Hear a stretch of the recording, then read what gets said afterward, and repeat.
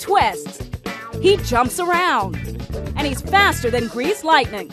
And now Judson Laipply is the hottest download on the internet with this crazy routine. The evolution of dance is to last 50 years of popular dances all in one six minute routine. You know, there are certain people in this world who, if you see them in an event, things like that, you know exactly who they are. And then there are other people that people just literally will be like, well, what have you done? And now I didn't actually do it. I didn't, it wasn't something of a labor that caused that, but I at least always for the rest of my life will be able to say that I was the first YouTube viral video.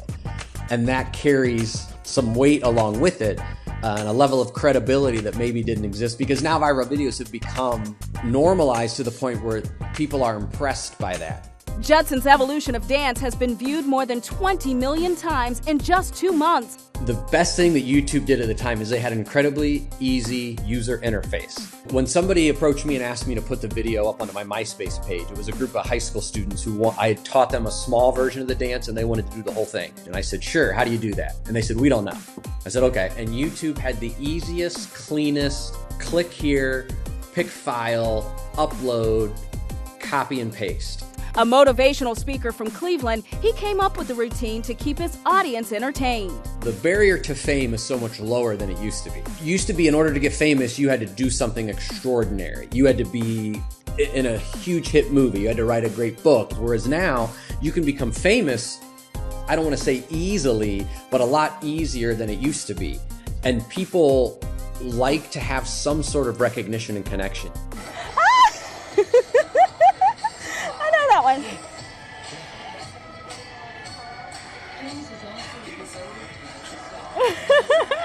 we decided to take Judson to the biggest stage we could find Times Square in New York City, where we showed each other some of our best dance moves.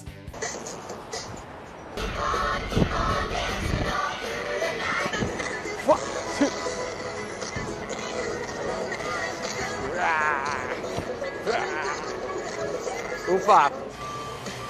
Back. You want to give him a little snarl? And it didn't take long before he was recognized. I bet you this isn't on your tour. And so at the time, it was really surreal because there were certain places that I could go where I was actually known as the person who did that dance uh, within a smaller community uh, of speakers and performers in the college market, which is where I was predominantly working at the time.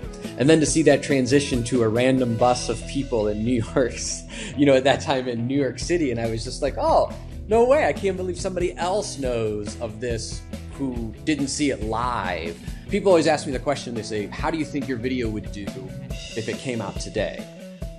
I don't know how it would do. What I do know is the longevity of it would be but a fraction of how long the first one was because there was nothing else going on at that time.